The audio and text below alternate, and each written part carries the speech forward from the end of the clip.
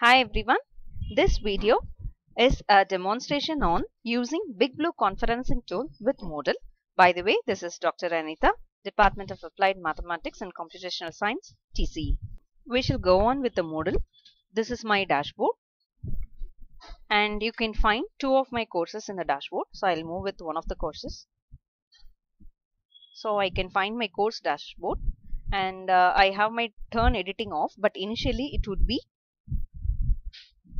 in the off state so I have to explicitly turn editing on and then I have to move on where should I create a big blue button conferencing system. So for the first topic I'm going to plan to have a webinar so I'll be adding an activity under topic 1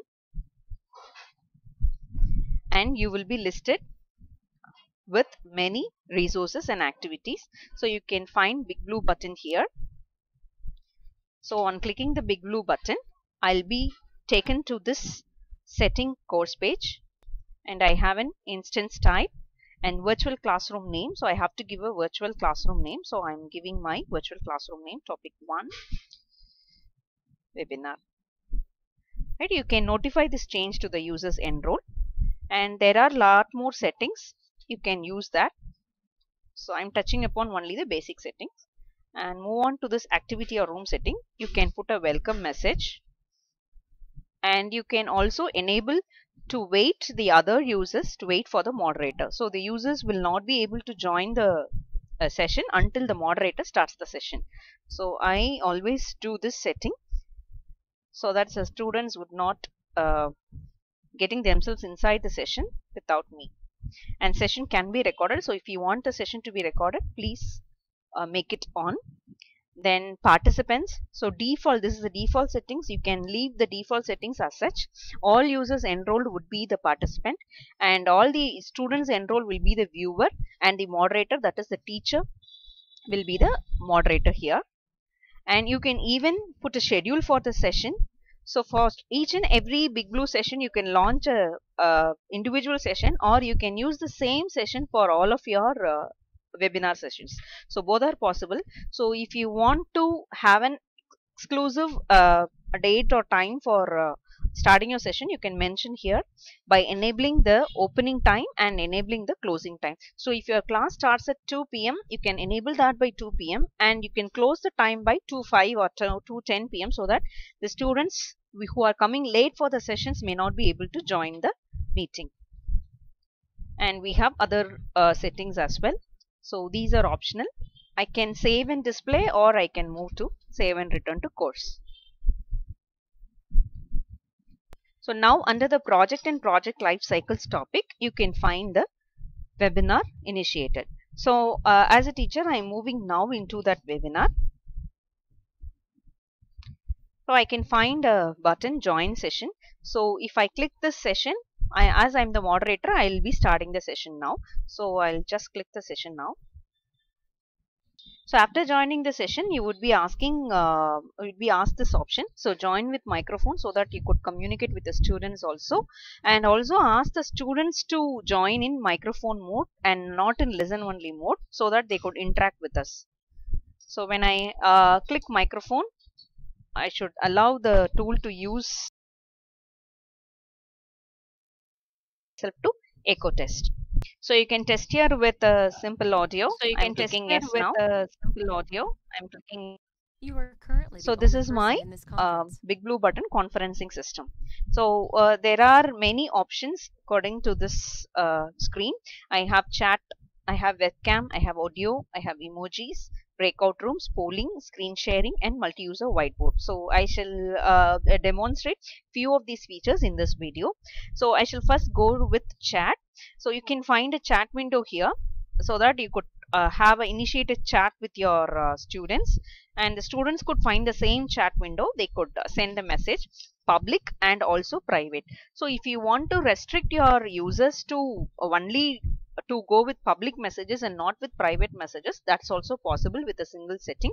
So i'll be explaining this setting box with you. So in the left panel you uh, find uh, uh, all the options of public chat, shared notes and who are all the users. And this panel talks about the Big Blue uh, session and uh, it also has the chat window. And this is the area that is visible to our students. And these area are not visible. Only what we display here will be visible to the students. So i'll be exploring this area. See uh, this is this list who are all the speakers uh, talking. And this is your name of the webinar room. And you can start your recording by simply pressing this recording button. And uh, the these are some icons. This is our uh, mic. And this is for leaving audio only and not for ending meeting. And this is for sharing our own webcam. And this is for sharing your screen. And there is a three dot options button here. When you click that you can find making full screen and settings. You can go for help keyboard you can set your own keyboard shortcuts and end meeting even logging out of this big blue button. So all these options are available. And here comes an interesting feature. Uh, you can find a gearbox here in the users list. So it manages users.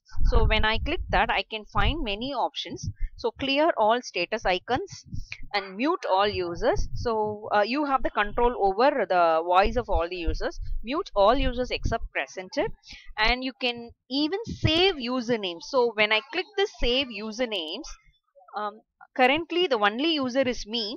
But whenever i click the save username you can see a text file is being downloaded.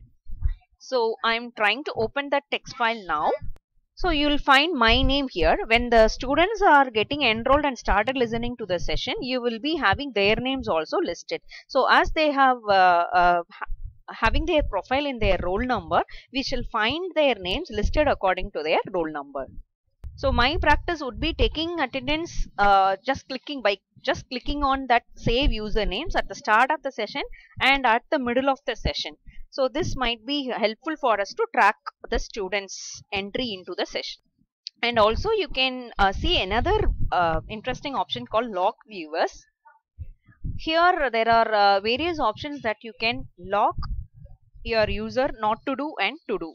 See for example, you can lock uh, so that they don't share their webcam and even you can lock so that they don't see others viewers webcam so that only uh, the teacher could see the student face and no others in the meeting can see the their faces. And you can uh, lock their microphones and this is an especially needed features locking private chat messages. So this uh, disallows them to sending private messages while the session is on.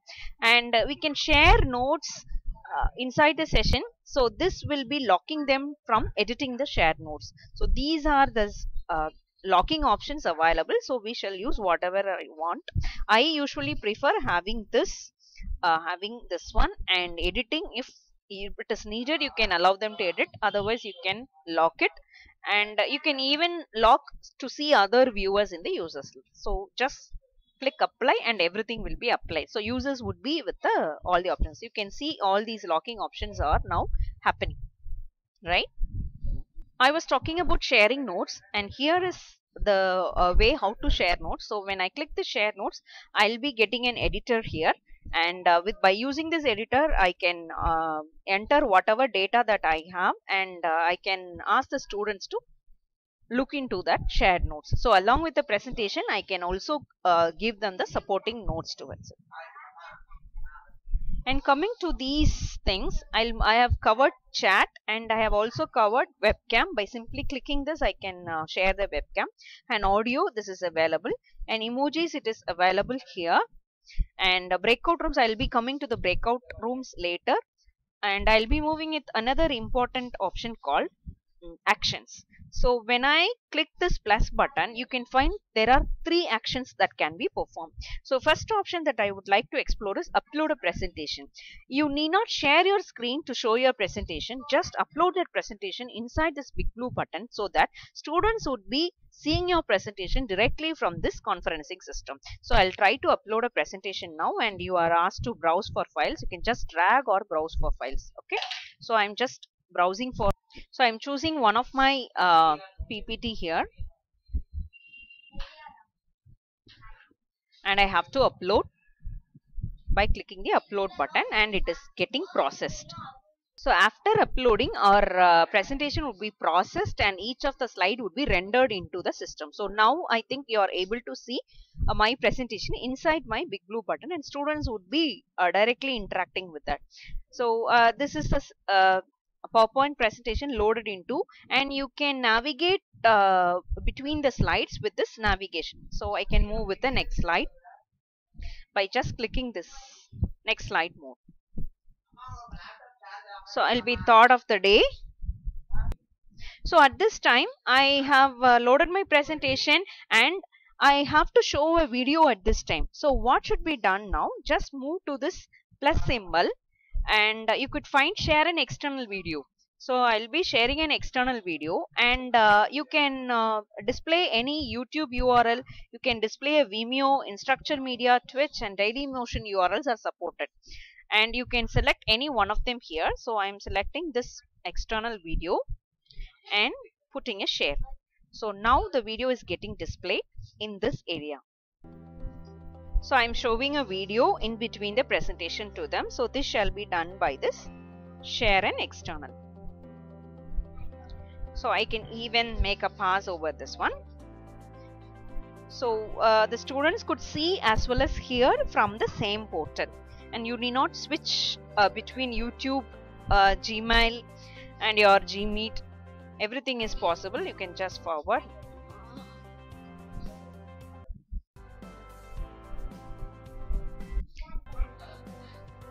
And if I want to stop, I can just move on and stop sharing external video. And it resumes back to where I left in the PowerPoint presentation. And it's also possible to annotate inside so I can choose a tool from this set of icons and I could annotate here. So I can take a pencil and I can draw a line with the width that I want. So I can choose the pen width also. Right. So and I can also add a text here.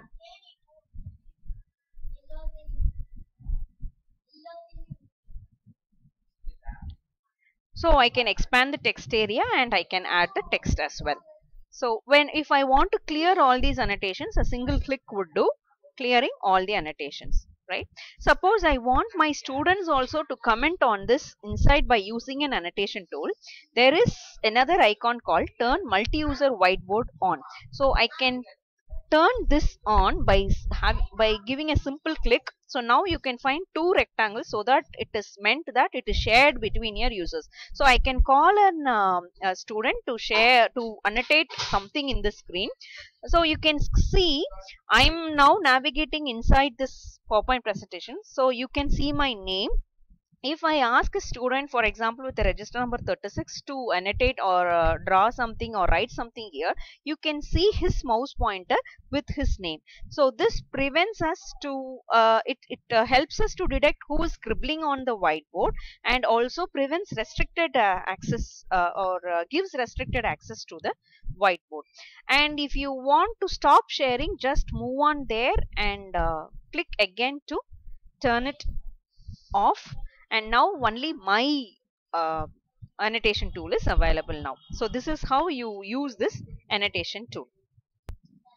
The next very important topic is poll creating a poll as we are involved in online teaching we should be posting suitable polls inside our presentation so this is made very simple with uh, random polls as well as planned polls so i shall move with the slide where i have a poll uh, now you can look uh, into the PowerPoint presentation, I have an embedded question inside. So I have a question with four possible answers, right? So I'll be displaying it with the students and discussing among them and I shall ask uh, them to choose an option, right? So they will be looking into the presentation and, and uh, they'll be choosing the option and now I'll be launching a poll with that by a simple putting plus. So I'll be starting a poll here um, polling has a lot of options to move with. We have an yes or no poll, true or false poll, two option poll, three option, four option, five option. If you have more than five option, you can create a custom poll as well as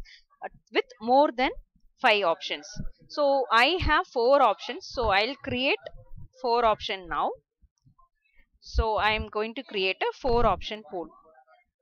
So now students will be able to see four buttons with A, B, C, D displayed and they'll be able to click any of the one button and whatever they are displaying will automatically gets into this graph as a progressive bar with number of students clicking A, B, C and D and you will be having a list of students displayed here. For example, 40 students joined in a session. Out of 40, how many have answered? That will also be uh, displayed here. 30 out of 40, 32 out of 40. So it will be randomly increasing. And also under this users response you will be finding individual responses of each and every student. For example i have 40 students. There will be a list of 40 students and all their responses. Who have answered a who have answered b everything would be visible here. Although i i think there are uh, no options for them uh, these options to get downloaded. Uh, but it's clear with us to know uh, how many have uh, closer to the correct action answer. And also there is another interesting thing is the top of the student list will be containing the names who have not given any answers for the polls. So there may be some students who uh, face difficulty in answering or there may be some students who just uh, put on the session and move away from the session. So there is a possibility to catch those students here. So we shall find uh, who are all the students who have not answered for this poll at the top of this list. And after and these things will not be uh, visible to the students. Only it is visible after publishing. So if i publish the polling results it automatically gets embedded into your slide. So how many users answered for a b c d? And then we shall discuss the correct answers as well and you can go for an random yes or no question true or false question um, in inside your presentation. So you can go back to polling option and again you will be finding all the polling and you can close this and then you can again have a quick poll. So quick poll is that whatever that you have recently polled it will, it will be appearing again. So I'll have a quick poll I will be having an ABCD because this is the most frequently used option by me. So this is again a uh, handy tool for us. So by this time I have explained you chat, poll and uh, how to save attendance how to log students and how to use annotation and everything. And uh, another and also i have uh, uh, informed you how to share an external video and getting embedded into this big blue conferencing system. But there are some situations where i need to give a demonstration on external software. So i need to share my screen occasionally. So for that i'll be moving this sharing your screen. So i'm clicking this sharing your screen. I'll be given three options entire screen, application window and a Chrome tab. So uh, I am now here going to show an uh, C++ demo. So I'll be moving with the uh, application window with select this option and put share. So automatically I'm going to get my uh, C++ editor here so this screen is automatically shared in your uh, Big Blue conferencing system. So I'll try to share my screen again. So now my students would be able to see this screen and not the PowerPoint presentation that is being loaded. So I can show some code or any demonstration and I can even run this code. So whatever that I have planned to explain with this window, I can do this uh, uh, for my students okay so I can even execute. So anything could be done here. So I can show the results to them. So how things will be working on uh, this software. So all these things could be. And now um, after sharing your screen you can at any time you can stop sharing and come back to the original uh, presentation what you have loaded into the big blue so this is how you can navigate between various options in big blue button conference and you can uh, start and resume recording at any point inside your session. You can start by having a simple click on the start recording button and uh, you can uh, talk and have a lecture to give a lecture to your students and after some time you can pass and ask your students some question. And then uh, uh after uh, you start your lecturing again you could uh, resume your recording. So that I'm here now posting a question. And after getting all those things I'll be moving to the next slide. And the next slide also I have a poll here. So I'll be moving to the next class. And then I can resume my recording to start my the recording of my lecture. Right? So at any time i'll i uh, it, it is easier for me to start and resume my recording. So i'll stop my recording here. I have it 25 seconds or 30 seconds recording here. I'll stop this with this. When i get back to this uh, webinar room after ending the meeting i can find the presentation recordings getting stored here uh, with the date and time and uh, the duration and as well as we have three types of settings here you can make the video as private and you can publish or unpublish and you can even delete. So students will also be able to see the same presentation in their dashboards. By clicking this playback presentation, they'll be able to look into and there is no option for uh, downloading the video. So they can just watch the video by logging into their respective Moodle dashboard. Right. Uh, there is another option with uh, this big blue button i think i have covered all the basic functionalities of big blue including chat polls screen sharing adding an external uploading a presentation annotation and sharing the whiteboard everything so uh, these are essential for uh launching a conferencing inside the big blue. And now i'm going to discuss another tool called breakout rooms. If you are interested to proceed with you can. Otherwise uh, you can use whatever uh, the tools that have been discussed so far and uh, initiate a big blue conferencing system. Right. So we'll be moving out breakout rooms. So breakout rooms are uh, options in which you can group your students randomly to um, have their own discussion inside their groups for example i can give a concept to discuss among yourself. I cannot have the entire 42 or 60 to discuss among themselves in a room. So i can create breakout rooms so that a room can contain some limited set of people and only discussion can be initiated among them. So if i create a breakout room uh, um, I we'll uh, have so much of users. Actually we'll have to 40 60 30 users here. So number of rooms can be from 2 to 8 i can exactly divide the classroom into two or i can have an at most 8 groups. So if i choose 8 groups and i can even specify how much time that they should be discussing right? So if i create eight rooms eight rooms would be created. And uh, uh, i can even allow my users to choose a breakout room to join. But at this time I'll not use this option. So that if I have 40 students I when I randomly assign those 40 students would be placed up randomly in these 8 rooms. So 5 students per room will be automatically uh, put up in these rooms and I could simply create so I'll be going for an 1 minute breakout session. So it, it, it is telling me you must place at least one user in a breakout room. So it is, there is an option of creating breakout rooms and after creating breakout rooms, I'll be finding a set of rooms here in the left panel and I can enter each and every room and I can uh, listen to what the students are discussing. So as a moderator, I have the right to join all the rooms and look into their discussion and come back. So this is how we shall initiate a collaborative learning also inside the uh, big blue button. So I have covered all the basic functionalities available in the big blue button. Hope the video helps you. Thanks for watching. Thank you.